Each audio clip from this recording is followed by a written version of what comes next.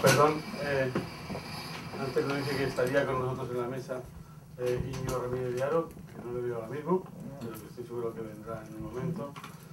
Eh, bueno, así que pueden sentarnos, por favor.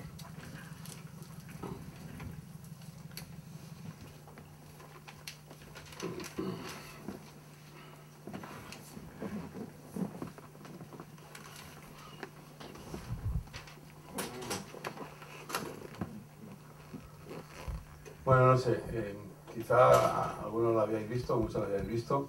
Yo la he visto unas cuantas veces, eh, pero he vuelto otra vez a, mm, sin darme cuenta, a reírme cuando, cuando no sé, no, no debía reírse uno casi nunca porque estamos ante un drama terrible, ¿no? De, la historia real de España. Y una de las cosas que más sorprenden todavía es eh, comprobar que no ha sido hace poco tiempo, cuando uno ya tiene memoria de las cosas y lo ha vivido. Esto desde hace mm, 70 y algo, pues 40, no llega a 40 años, ¿no? No estamos hablando de un tiempo muy lejano, estamos hablando de un tiempo... Aquí está Íñigo Remedio Diario, que antes eh, se me pasó, porque como me tengo tan habituado y tan cerca, pues no dije que iba a ser eh, un imprescindible miembro de nuestra mesa. Eh, se incorpora, yo no sé si Íñigo conocía la película, estaba diciendo que, que Íñigo, que me ha impresionado, la he visto unas cuantas veces, eh, y me, me avergüenzo también de reírme, me río muchas veces de la película, estamos ante un drama y una historia real de nuestro país y no un drama muy lejano, sino un drama muy cercano. Quizá, mm, eh, como antes eh, hemos estado hablando un rato con Basilio, quizá Brandy, que, es la primera vez que ha visto la película, nos podría decir lo que le ha parecido, si le parece, si lo quiere expresar. Y como sé que has visto también la película del verdugo de Berlanga, esta historia entre la realidad y la ficción, si merece alguna eh, reflexión que quieras hacer, pues me encantaría, pero creo que Íñigo mm, diga algo si quieres sobre ti, o estado juntos, es un poco mejor.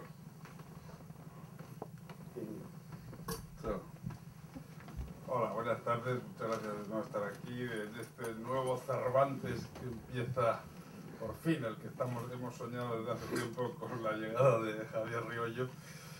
Y, y luego, de nuevo, es un honor estar al lado del maestro. La verdad es que yo sí había visto la película hace tiempo, pero mm, realmente eh, hacía ya bastantes años, claro, 30 casi. Y cuando la ves de nuevo, mm, yo la verdad es que me río y no me da ninguna culpa, la verdad. Me parece que esa es la excelencia de la película, que este tema tiene muchos ángulos y uno de los ángulos es el humor negro permanente. Eh, todo el tema este que estamos tratando tiene un lado de, de, de mucho morbo y otro lado de mucha repulsión. He ahí la grandeza del tema y el interés. El interés porque está siempre permanente. O sea, si vais a los cines hoy, al IFT por ejemplo, podéis ver la última película de Herzog que se llama Into the Abyss, que la historia es... Yo cuando la veía estaba pensando justamente en lo que se parecía la historia tuya hoy en Estados Unidos. Decir, esta película es de hace 40 años, pero ver una historia semejante hoy es un tema de reflexión bastante más dura. Pero vayamos a Brandy. Brandy es, la verdad, un placer. Hello? Es un placer tenerte a ti. Brandy es una de las grandes periodistas tejanas. Eh, debo decir que, y yo empezaría por ahí, luego pasamos a la pregunta de Javier, debo decir que hemos intentado desde el consulado con Águeda Sanfid, que está aquí, traer a un verdugo. Ha sido imposible. Hemos hablado con varios. Hemos tratado de traer a un chaplain, un- uno de los curas que está con, que está con los eh, sentenciados a muerte. Ha sido imposible. ¿Qué ocurre? A mí, yo cuando veía eso decía, esto, estos verdugos que hemos visto no tenían ningún problema en estar. ¿Qué pasa hoy? Que los verdugos no quieren venir y tiene que venir la gran especialista en verdugos, la gran periodista eh, Brandy, en su lugar.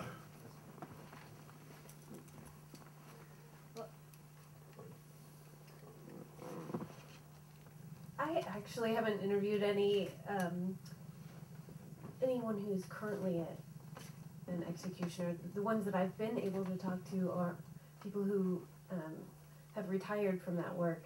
Um, so I interviewed a, a gentleman who was the warden of the Texas death row, which is one of the busiest ones in the nation, as you probably know. Um, and um, I've interviewed a, a chaplain who was actually holds the world's record for seeing more executions than any other chaplain. Um, and I think they they feel a little bit more free to talk about it now because it's not what they do anymore, um, and they can sort of step back from it a, a little bit.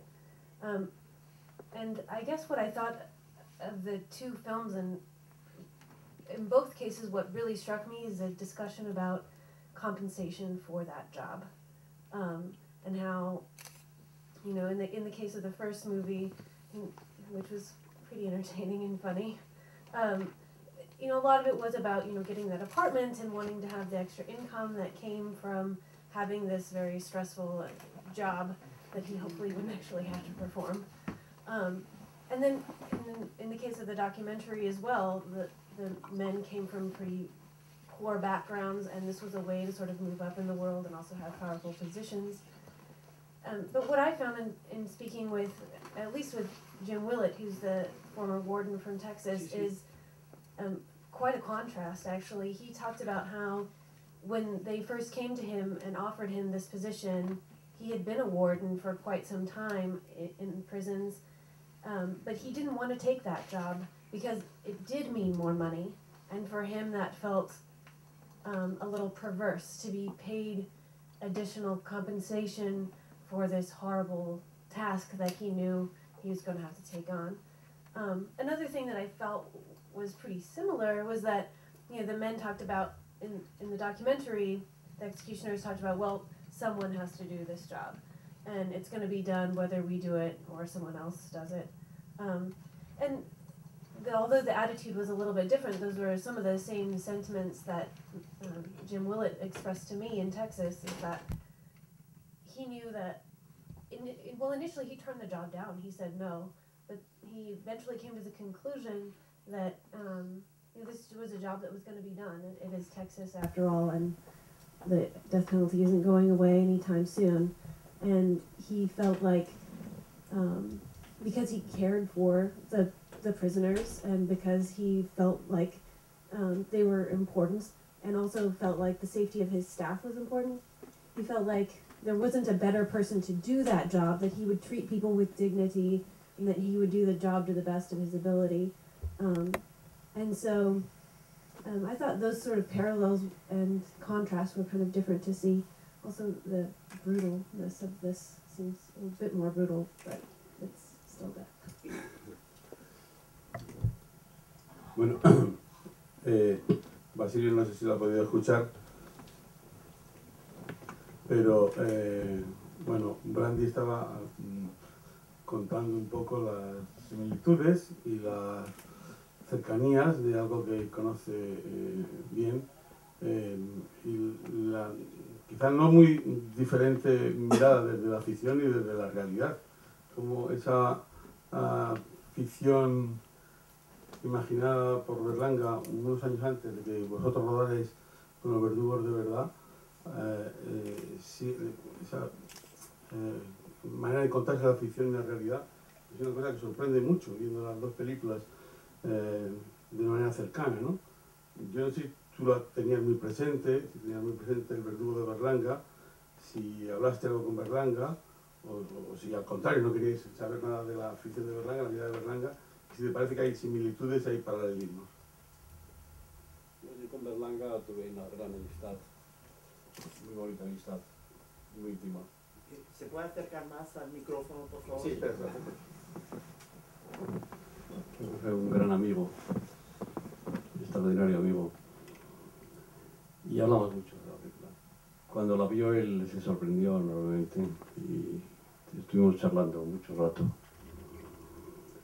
Son dos visiones distintas. De esta película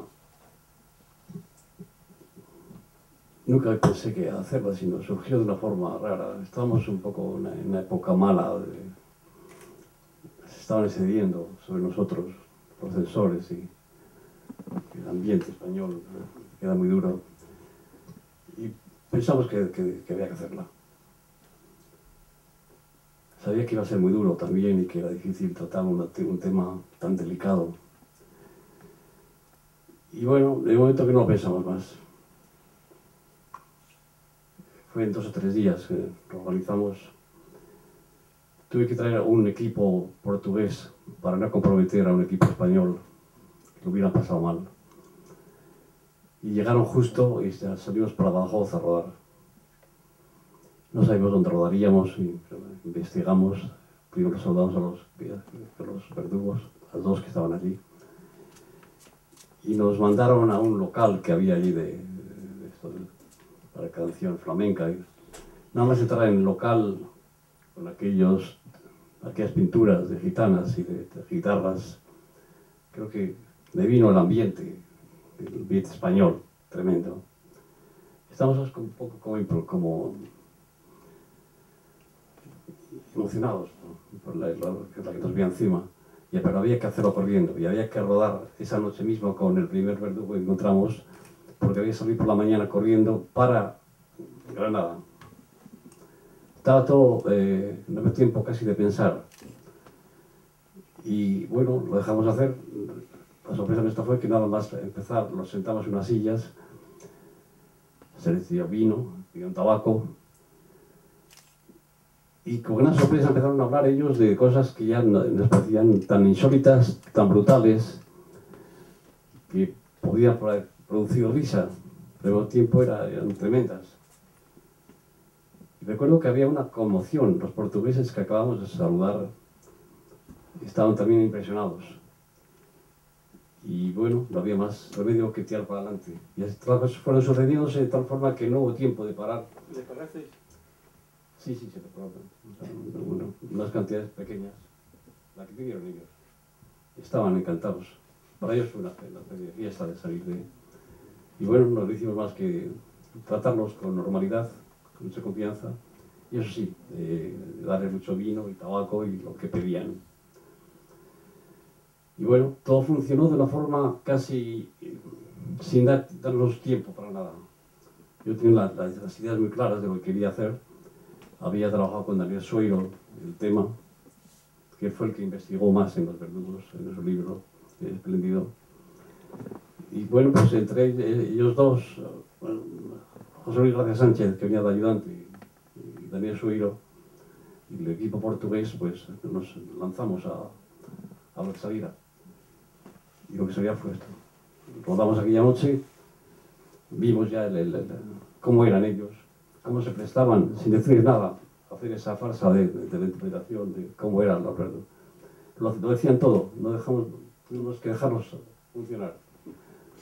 Nos fuimos a dormir agotados, había que madrugar mucho para irnos para nada, y efectivamente ya cogimos la carretilla y así sucedió todo con esa normalidad. Pero la verdad es que tuviste una suerte estupenda, porque es di- difícil tener unos entrevistados más divertidos, solícitos, eh, eh, con ganas de contar cosas que los que yo he visto en esta película. Es, difícil, porque lo, más llamativo de- del tema este de los verdugos, si la comparas con la de Verdugo, con la de Berlanga, es que esto no tiene ninguna vergüenza. Eh, lo consideran un trabajo completamente digno y normal. Mm, El verdugo de Berlanga está construido justamente en lo contrario, ¿no? Alguien que no quiere ser verdugo y que, y que, y que hace todo lo posible por no serlo. Bueno, y, el, y de el ahí, pequeño, porque el mayor sí. sí, el pequeño, bueno, El el pequeño, pero digo que la película está hecha para, para la última frase, la, la brutalidad de la película es la última frase, eso decía yo la primera vez, ¿sabes? Después de que hemos visto este que no quería, ¿no? Pero yo tengo aquí un reportaje que hicieron en- hace unos años al último verdugo inglés. Y el último verdugo inglés, no sé si es que para, para porque a partir de lo que decías tú de la brutalidad, que te pareció muy brutal, pues dice, Dice, es, una, es un reportaje que le hacen al último verdugo inglés cuando saca un libro en el momento que ya, eh, esto es, les hace también en los años 80, por ahí, cuando ya se permite hablar sobre la pena de muerte en Inglaterra, que se abole en, en 1965. Y el reportaje, que no solamente está él todo el rato eh, enseñando sus maquinitas y, viendo cómo se cuelga y el patíbulo y cuenta que tiene un patíbulo y tiene aquí a eh. Coge la soga y, da clase, o sea, como realmente un poco con, con regodeo, en un momento determinado dice, lo cual es llamativo, eh, mi vida de verdugo me proporcionaba toda la aventura que yo podía desear. Entonces, Brandy, los verdugos de hoy de Estados Unidos, en- donde hay cientos por, año, si vas sumando, cuando no pudimos encontrar un verdugo en Texas, nos fuimos a Florida, donde también hay muchos. Eh, los verdugos tienen este placer. ¿Cómo son hoy los verdugos de Estados Unidos? Eh, ¿Cómo los definirías? Eh, en esta línea que hemos visto tanto en el documental como en la película.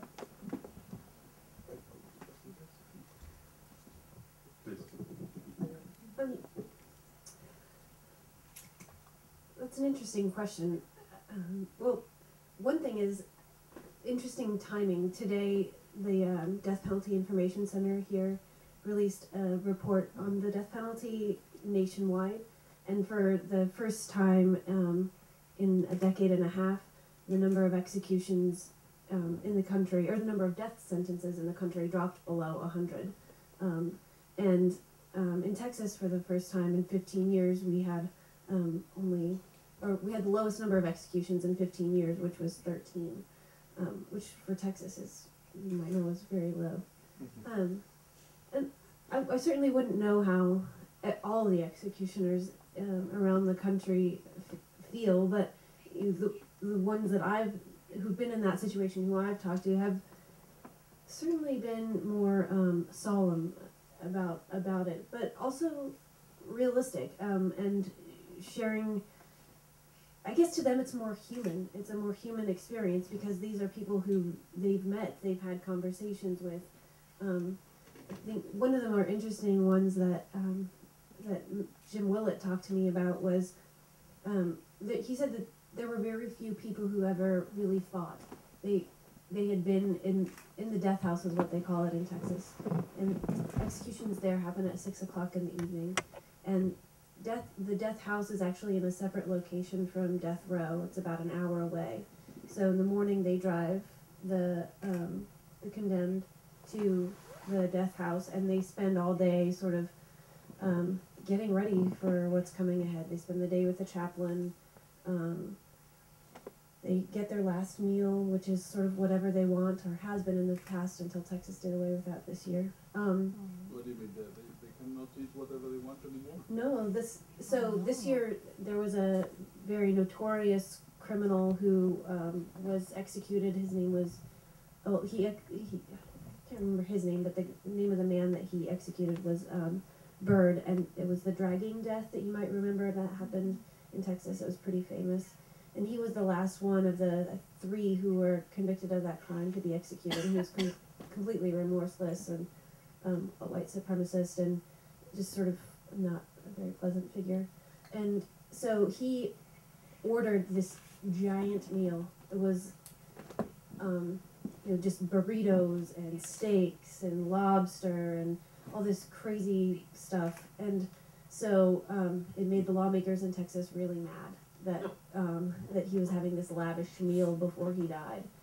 And so um, they called on the Texas Department of Criminal Justice to immediately end this practice that they've had forever of providing inmates with the last meal of their choice. It was a little fictional because it wasn't really a last meal of their choice anyway. The prison system only gave them, they could ask for anything they wanted, but the prison system would only give them what they actually had on hand. So, at any rate, they um, they ended that practice this year, and, and he was and he was put to death, and so that's sort of a one thing that's gone to the table. Why, why do you think that there is this thing of having, because even when you're reading old novels, de las antiguas novelas, cuando se leía que justo antes de morir les daban la mejor comida que podían pedir, esto está en todas las novelas. Why is that? I, I always wonder why they have to have this succulent um, meal. I mean, it's like a joke, society, you know, from society, you know? You know, I mean, this is old, very old. It is very and old. what, what is the symbolism of that? Uh, Nos, nos llama la atención es que hubiese ese detalle, una sociedad que te mata, pero antes dice, no, vamos a añadirle un poco de morbo, vamos a, a, a- darle una, una, vamos a traerles caviar. Es, es que suena una paradoja. A mí siempre me lo ha parecido. Why is that? Um, well, I guess it. I've heard different reasons for it, but um, you know, some people say it's sort of a last sort of showing of empathy or kindness toward this person before they're dying. But some people also think that it's um, some sort of show of guilt on the behalf of the state that they're about to put this person to death. I, that's those are the things that I've heard. I don't know. Yo creo que no se puede olvidar que estamos en España, que somos hijos de una tradición de la picaresca. Yo tuve como catedrático en la Facultad de Letras a Lázaro Carreter, especialista en, en esta época, y creo que yo fui mal estudiante, pero recuerdo que las clases de Lázaro Carreter no las perdía porque eran interesantísimas. Y allí aprendí a, conocer mejor España. La España del siglo XVI, la España de, Quijote, la España de los pícaros que están ahí y que eran así. Eran así o más sarcásticos. Entonces, esa explicación de que crea un mundo parecido real y tuve la oportunidad no buscada de experimentar en esta aventura, que obedece a otras cosas, obedece a una España franquista de la que estábamos desesperados en, en momentos muy difíciles y queríamos darla a conocer, al margen de, la literatura, la riqueza de, esta- de de estas obras. Y me parece que era así. Y no inventamos nada. A mí me sorprendió desde que salí de Salamanca hacia Badajoz, todo fue encontrarme con una España impresionante que no hace falta inventar nada. Sencillamente nos dejamos llevar. Rodar muy deprisa, se rodó todo en una semana, porque teníamos miedo que estaba la policía detrás de nosotros, y estos hombres eh, que eran, pues eran como eran, corrían el peligro de, de cansarse o incluso de delatarnos. Y había que hacerlo todo de una forma y salir corriendo de una parte a otra. Yo no sé cómo, cómo nos dio tiempo hacerlo todo. Creo que era un equipo mínimo, los portugueses encantadores, Daniel Soiro, José Luis Sánchez de ayudante, y bueno, eh, íbamos en un coche, en mi coche, aquella especie de, congreso de verdugos, y todo salía de una forma misteriosa, terrible hubiéramos podido dejarnos llevar del, humor, un humor siniestro. Creo que lo, lo moderamos bastante, pero todo daba pie a ese humor de, que coincidía con el humor de la picaresca que nos había enseñado Lázaro Carreter. Creo que no había, no hace falta inventar nada. Prácticamente no teníamos ni guion siquiera. Salimos para allá, nada más llegar a Badajoz, nos bajamos a esa, a esa cueva que estaba pintada como si nos hubieran hecho adrede, salimos corriendo para Granada, seguimos eh, la- y en, en- en- en- siete días exactamente fue lo que tardamos en rodarla. Hubiera sido peligroso rodar más, no hubiéramos podido. Y entonces hicimos este esfuerzo y luego sí, en montaje ya eh, tuvimos que atenuar cosas, meter, eh, darle una humanidad, ponerle una música cristiana que estaba en el ambiente. Es decir, eh, eh, creo que ahí se modela la película, pero no es mucho lo que se, va a poder- lo que se puede añadir. Y entonces nos dejamos llevar del guion y bueno, eh, pues, sí, cosas de- de- del oficio que te lo hace ayudar. y que salga lo que Dios quiera. A ver. Perdona, eh, sí, quería preguntarle una cosa a, Brady, hacerle una reflexión también, porque lo que hemos visto es eh, una historia que pertenece a la España no democrática. Eh, estamos hablando de ejecutores de la justicia, de la no justicia. en un régimen no democrático no se puede hablar de justicia exactamente. En una dictadura, bueno, pues es un eslabón más, ¿no? Y estaba, digamos, quizá no muy bien visto por la sociedad, era un poco vergonzante o muy vergonzante, pero no mal visto exactamente, ¿no? Era el que tenía que ejecutar algo que era legal. Yo, unos años después, eh, hice una entrevista a Antonio, a uno de los verdugos, ya con la democracia, ya prohibida la pena de muerte. Él estaba escondido en una especie de, de- de nicho portería en Madrid, en el centro de Madrid.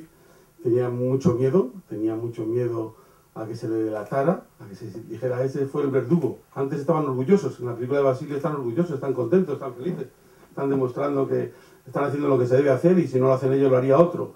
Eh, pero quizás lo que sorprende, eh, eh, Brady, lo que te pregunto, es que en una sociedad democrática, muy democrática, como una sociedad americana, todavía se vive esta tremenda contradicción de que la figura del verdugo no es vergonzante y que tampoco está mal vista y que la pena de muerte está cuestionada por unos sectores de la población, pero por otros no, sino todo lo contrario. Eso no deja de ser una especie de, de choque con la eh, normal realidad de un país democrático, ¿no? Para los que lo miramos desde el occidente ahora, viniendo de un pasado tan oscuro y tan negro como el español. Eh, se podría añadir que estos verdugos, en aquella época en que nosotros los, era- estábamos todos perseguidos, eh, fuimos condenados varias veces, había una lucha cara a cara, no oculta, contra el franquismo. Y ellos eran, uno eh, había estado en una legión, otro era, había estado, habían estado en la cárcel, eran eh, no falangistas, sino eran patriotas de la época.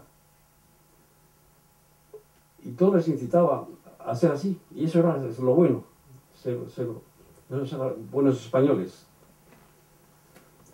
Y no- no- nosotros no tuvimos que inventar nada, afortunadamente, sino dejarnos llevar, fotografiar aquello que veíamos con sorpresa cada día. Y todo ello en cinco o seis días. Porque ya te había que acabar, no obstante, creo que dieron mucho de sí. Nos pegamos un palizón, eh, estuvimos en aquel congreso I wanted to ask you a question. I wondered if one of the things that struck me was the humor the executioners had and um, their real sort of joviality with one another, the relationship that they seemed to have. Um, I wonder if you got the sense from the time that you were able to spend with them about whether that was sort of a way for them to deal emotionally with what they saw, that sort of using humor as um, as a protection for themselves against you know all the depths of other depths of emotion they might have felt. Creo que hubiera sido insoportable si nos dejamos llevar y había que terminarlo todo. Ellos eran así. La sociedad era así. Creo que no. No tuvimos que inventar nada. Daniel Soiro eh, había investigado ese tema, pero creo que fue una investigación que tampoco nos valió. Lo que nos valió es llegar justo a Badajoz, donde se rueda en alguna cueva, vamos corriendo, y nada más ponerse en la cueva, ya vemos que él dice, acá, pon aquí, vamos a hacer como era. Y lo imitan. Y estaban felices. Eso sí, dándoles vino continuamente y tabaco. Cualquier inversión nuestra hubiera sido estropearlo todo. Eh, En parte también porque lo de, lo de, lo de, o sea, lo que hemos visto en las películas, tanto el verdugo como, como en el documental, es fruto del hambre. En España, en la época del hambre, o eras verdugo o eras torero, no había muchas alternativas. Y en una sociedad sin hambre, como que es lo que yo quería que Claro. contestara un poco Brady a esta reflexión que antes me, me hacía, ¿no? ¿Cómo se entiende aquí?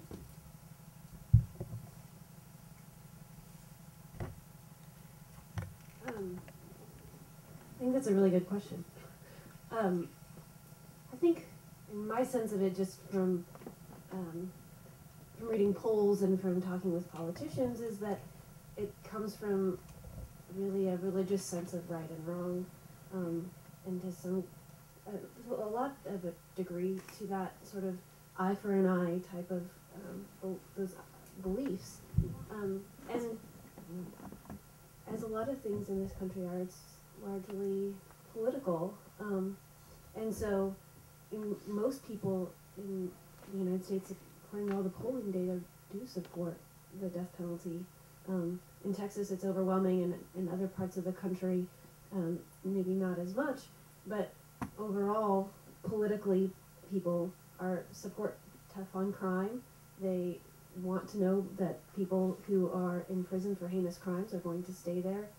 And I think what's interesting and shows a lot of explanation about why the death penalty continues in Texas or in the country, and sort of the trend that we're on is in Texas in 2005 the um, life without parole became available as a sentence, and before that your only choices for the juries were the death penalty or um, a life in prison, which could mean that someone could get out on parole in 20 or 30 years. So once life without parole became an option for juries, you saw a, preci- a precipitous decline in the number of death sentences that were awarded. And so I think even though the death penalty certainly continues, we're seeing a drop in the number of death of executions, the number of death penalty sentences, and with the increase in the number of exonerations across the country because of things like DNA um, and reforms in eyewitness identification and all of these sort of new developments in science and the way we think about the death penalty and about these crimes, you're seeing juries become more aware of the faultiness of the system that, we, that we've known up to now, and you're seeing a decrease in the number of pe- uh, death penalties and executions. So I think it's you know, sort of what we see a lot of over time is it comes back down to science and religion and that ongoing battle. But I mean, I think in the three films, in the, in the two we have seen today and in the Herzog's film, what is clear is that the more religious, the more killing. They are all religious. I mean, in the Herzog film, you, cuanto más, es que la religión es muy importante aquí, cuanto más religioso, más asesino.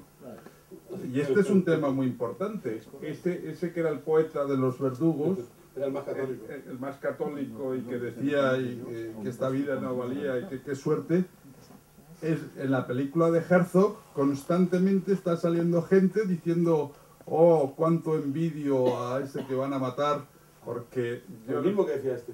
lo mismo, en la película de, de hace do- de un año, o sea, hoy día, aquí, es decir, el componente religioso es tremendo, es decir, esa posibilidad, y ahí se plantea muy bien, que es, eh, por- porque hay un, un- ya lo veréis, pero hay un jefe de prisión que ha matado a mucha gente, un, un verdugo que ha matado a mucha gente, que de repente se vuelve contra la pena de muerte. Y entonces él dice, descubrí que al final matar en nombre de la ley, kill in the name of law, is killing. Matar en nombre de Dios es killing. Entonces, esta capacidad que ha tenido el humano a lo largo de la historia de decir matar en nombre de la ley o matar en nombre de, Dios, resulta que no, no, no- no- es malo. Al revés, es una buena manera de, ir al cielo o de ascender en la escala social, eh, eh, es justamente lo más llamativo del cambio, ¿no? ¿Eh? No olvidemos que la pena de la impuso un rey quitando los sistemas anteriores que eran sanguinarios y lo hizo en honor del santo de su señora esposa la reina y quedó establecido como una cosa honorosa, honorable. Creo que sin esta mentalidad es difícil entenderlo. Y eh, entonces aquí hacer aplicaciones religiosas de cielo e infierno está todo en la misma línea de- del catolicismo brutal, del cual era catolicísimo, el más catolicísimo de, de los sangrientos tiranos. que teníamos. No solo católicos, aquí no son católicos en Texas. Son de otras religiones. Es la religión en general, no, no solo el catolicismo. La simple apreciación del bien y del mal es un concepto No, Claro, claro. confuso. Exacto. Eh, Eh, Sí, hay, eh, sí. No tenemos demasiado tiempo, pero sí vamos a bueno, tener un rato más para alguna pregunta que haya. Sí, por favor. Una pregunta para Brandy. Em, creo que usted mencionó un... It's not working, that's the problem. Ah, that's why you didn't. No, no funciona. A ver, el micrófono. Ok. Usted mencionó un caso muy importante,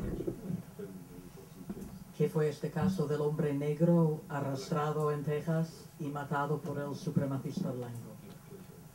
Y, e- y eso me hizo pensar en muchos comentarios que yo escuché de parte de activistas negros, amigos míos en aquella época, que estaban muy a favor de la pena de muerte en este caso. Y en el caso de muchos miembros del Ku Klux Klan que estaban siendo enjuiciados en el sur por crímenes cometidos en los años 60.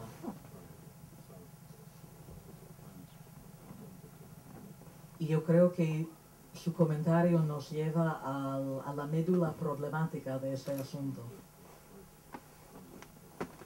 Porque los criminales no son buenos aunque tengan problema de X cromosomo o, o, o que sean supremacistas blancos. Pero igual tenemos que decidir qué tipo de sociedad queremos nosotros.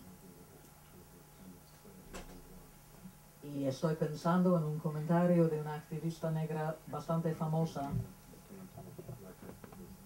Angela Davis, que estaba a favor de la, ejecu- eh, de la ejecución en este caso. Y creo que es un, es un punto muy difícil, porque yo personalmente estoy en contra de la pena de muerte, pero no puedo decir que lloré por el hombre del Ku Klux Klan que mató a un negro.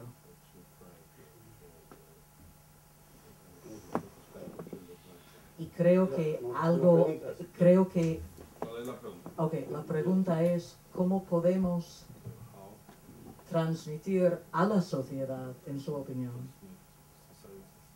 que la pena de muerte no es una respuesta adecuada a crímenes así, en particular a crímenes de odio.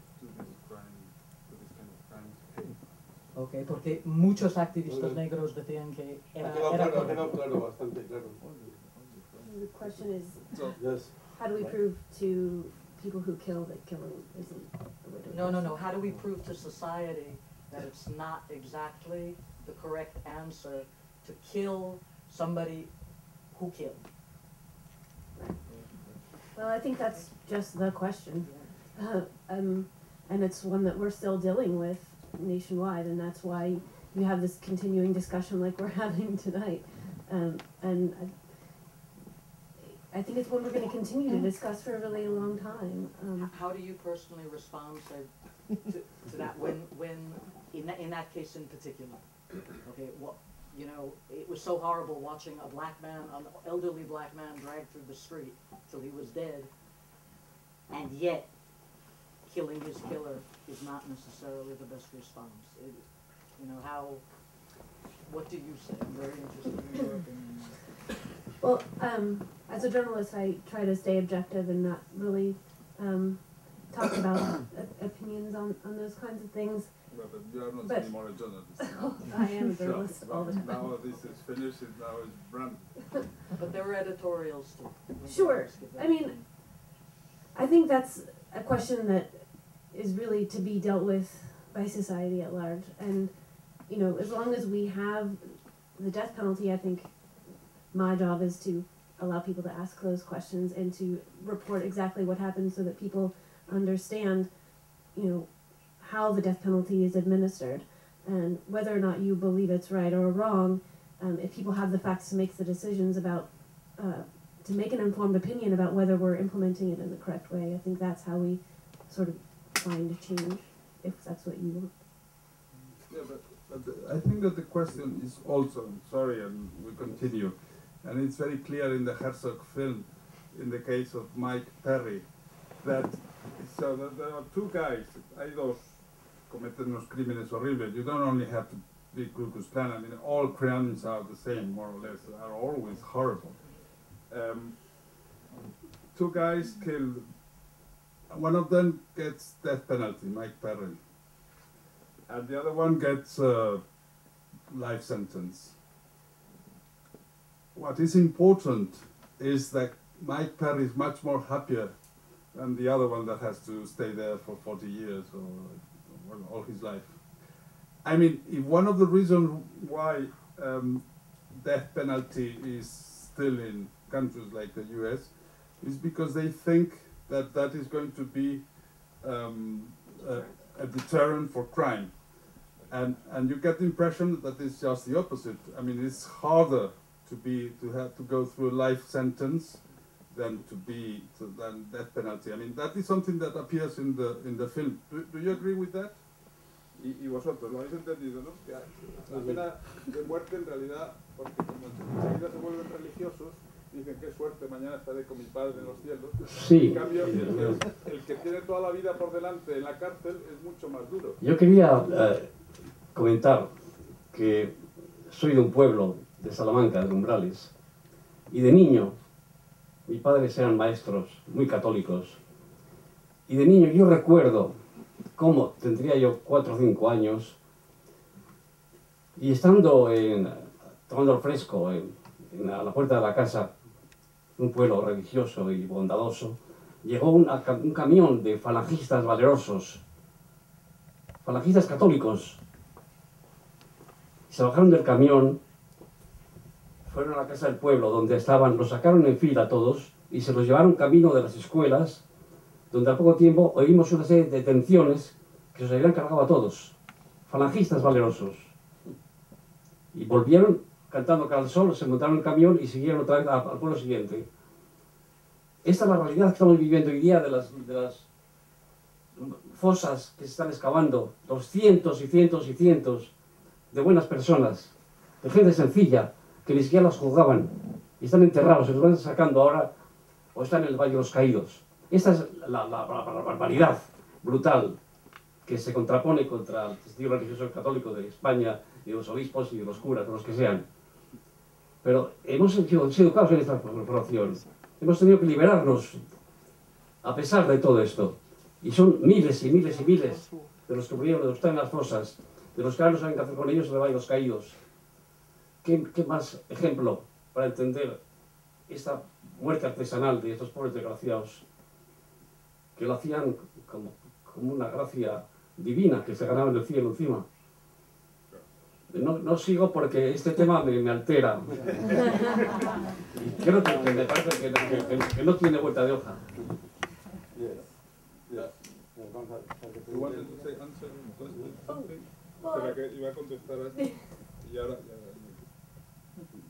Um, I was just um, going to. You asked asked about the death penalty as a deterrent, and I think what you'll find that um, anti-death penalty folks that I've talked with have said is that um, that it doesn't deter crime. That um, that actually, if you look at over time, you're seeing the numbers of death penalties go down, and we're also seeing the crime rate go down. And so, while perhaps some people think about whether they're going to be executed if they commit a crime, most of most murders don't happen in a calculated way where people are necessarily thinking about that. Um, it has a lot more to do with background and with economics and with factors that are aside from the death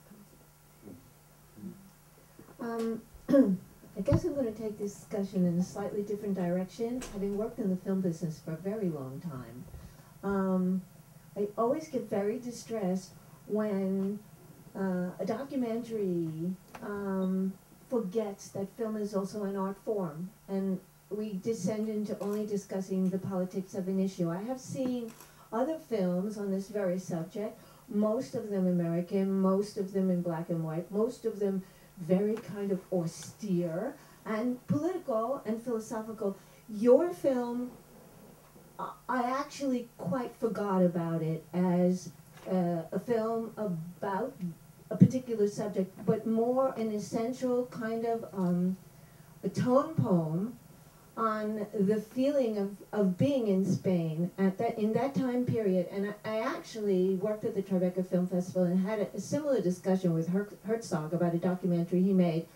Um, and you may say you were just lucky, but I think that the artist knows in the moment exactly what's the right thing, and you shaped what we saw to create an emotion, not just later in the editing and in in adding the music, etc. But y- the shooting in the arid land, the shooting with the flamenco dancers and the, the wild improvisation behind, the shooting and watching these men um, talk about their lives, one must remember that the documentaries um, that were made here about uh, executioners were about people who basically pulled a switch for uh, electricity or to, for injections.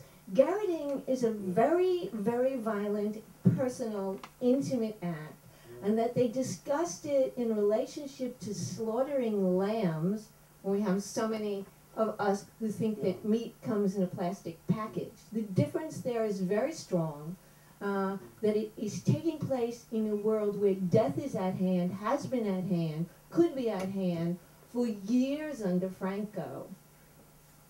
It's the, you have created a work of art in which I was not thinking about the politics, that I was really thinking about who these people were and how they came to be what they are and the pragmatism of what they did. We did it to eat. That's what we did. And let me just say one more thing. Uh, it's very modest of you to think, oh, we were just lucky. But I will say, my father was a photographer, and I know a lot about great portrait photographers. And I have also helped some of them work with actors who did not give them what they needed. And it's not just how you light the picture or how you frame the picture, but it's how you get the subject of your portrait to open up and show you who he is. And that's what struck me about this film much more than the politics. So um, maybe it's not really a question, but I say thank you. No de acuerdo. My turn? Oh. And then Daniel. Okay. I know two executioners. I grew up in Florida, and I know two of them, so I'll just quickly tell you two stories. Um, one of them was an executioner who moved to Florida from a state where they had the gas chamber. And what he did, he was one of one of um, the he was one of the people responsible for dropping the pellet into the chamber for the gas. However, in that state at that time, there was more than one person who did that. So he didn't have the guilt of ever knowing whether his pellet or the other one was the one that really um, it was the execution of of that person. But this person, and I don't know if the translator knows the word hillbilly in in, in Spanish or redneck, but that's the description of who this person was. And he didn't feel he didn't feel any guilt, but he also felt like that it was really something that needed to be done. He, um, if someone was on death row, uh, of course, we all know that many of those people die and are never executed. But he was one of those people who felt like that the taxpayer is the one who pays for the groceries for those people on death row, and he would just as soon go ahead and get it over with and have them be sentenced to um, to be executed and never have it carried out. Now, the other person, the other executioner that I know, is from Northwest Florida in the Panhandle, where most of the executions are carried out, and he. Uh, on the contrary, is a very modest man who does this for a living, um, who isn't proud of it. He doesn't boast about it, and in fact, he's he's very quiet about it, and only his close friends are uh, know that he does that.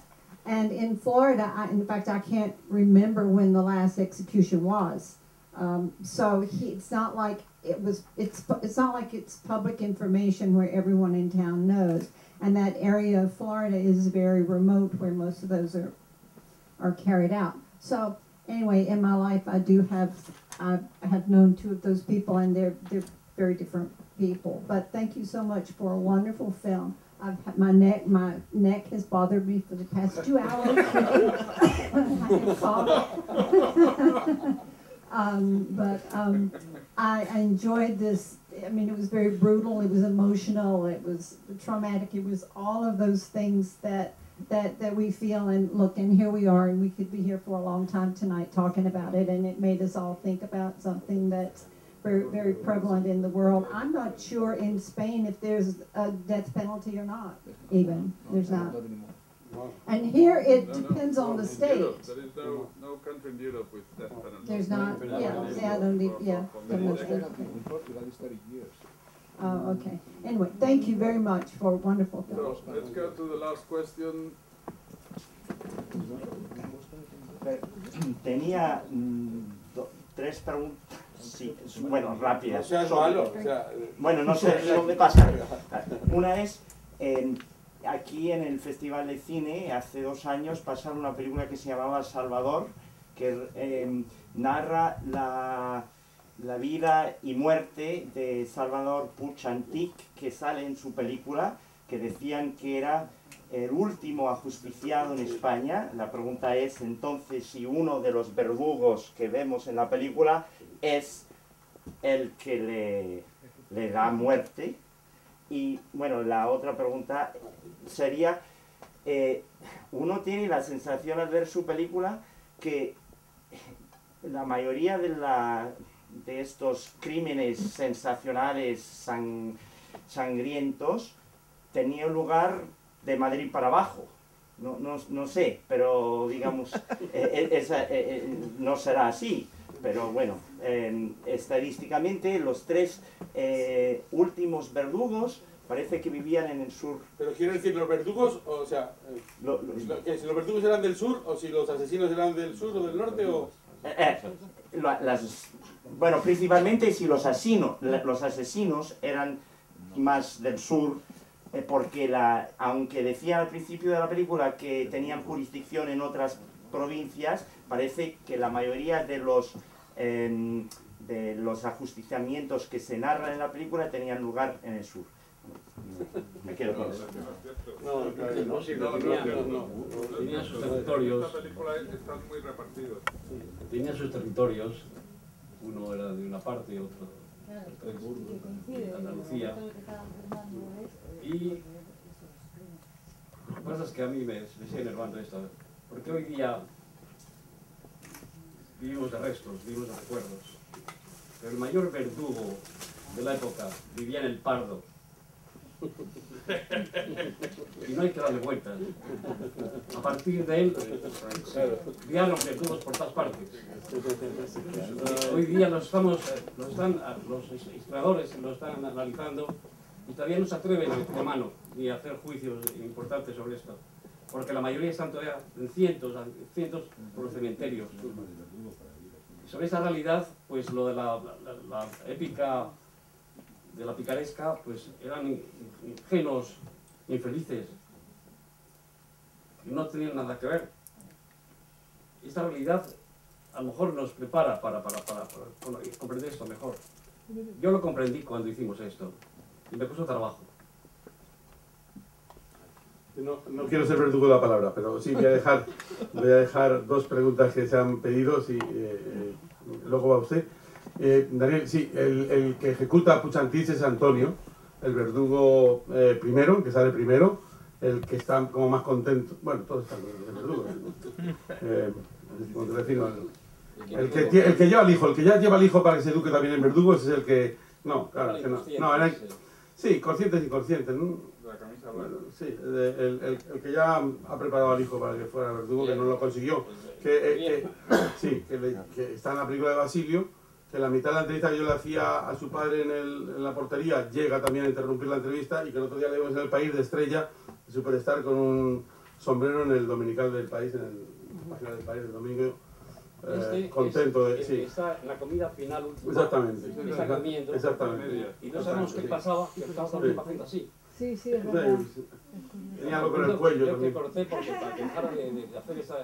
eh, que- que lo- entonces lo, lo proclamaron verdugo sucesor de su padre. Sucesor. Bueno, dos preguntas y no vamos a ir perdón. la documentación histórica en el caso de España y, de, y presente en Estados Unidos de este tema, si realmente hay una vo- voluntad social de, de documentar y difundir eh, esto.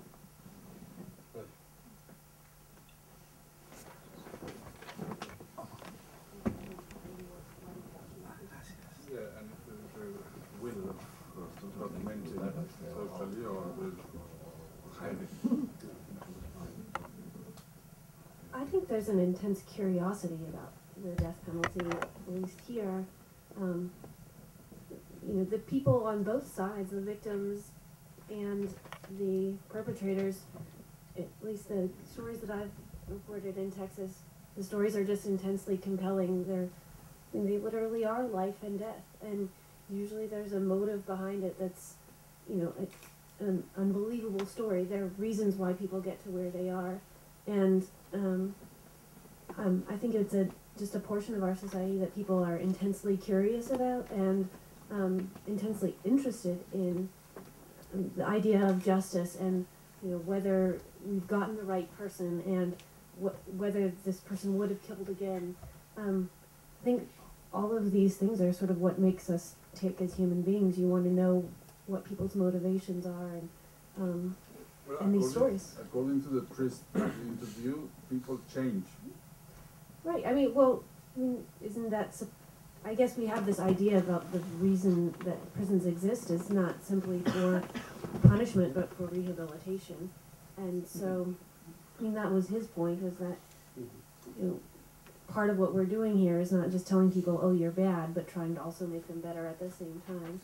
Um, and sort of the change in that idea and whether that actually happens, um, you know, is a point of large discussion. Ah, ah, el tema que eh, más me impresionó de su documental fue que toma, toca eh, puntos muy importantes, que es el contrato social ah, ah, entre el castigo y cuál va a ser la solución. El otro es las condiciones eh, relevantes que existen entre eh, la derecha extrema en términos de pensamiento, eh, mayormente militares, o que han estado en el ejército, que forman parte de un ah, de orden de, como digamos, de requisito y mérito, la patria, la bandera, el honor. Después de vivir en América Latina y trabajar en el sistema de correcciones, ya trabajo, trabajé en el Sin Sin, que es una penitenciaría donde todavía existe la silla eléctrica. El cuarto y la silla no está en uso, pero es, es tremendamente impresionante llegar y ver, ¿no? En su documental ah, también pone en, en, ah, en tela de juicio que los condenados y las víctimas siempre son los mismos, ya sea en España, ah, ya sea en Cuba, ya sea en los Estados Unidos, eh, personas de bajos recursos, personas sin mucho poder eh, adquisitivo, ¿no? Mi, mi pregunta, que me, que me tengo mucho interés sobre eso, cuando eh, existía esa ejecución en España, ¿no? En el certificado de difusión, si se le daba alguno, ¿se declaraba como homicidio del Estado, como justicia, o no había absolutamente... Eh, eh, esa es una, eh, y la otra es... Yo soy un nocivista. ¿Cómo? En España no se hacen esas cosas, esas delicadezas. Ah, eh, no sea, ah, ok. Y la otra es, eh, tan reciente como en el 1983, en España hubo un intento el 23 de Tejero o 23 de febrero. ¿sí? En su opinión, la sociedad española, ¿qué lejos está de esa, de esa etapa oscura? De- del oscurismo no en términos de modernidad, pero en, en digerir el pasado y moverse hacia una nueva etapa.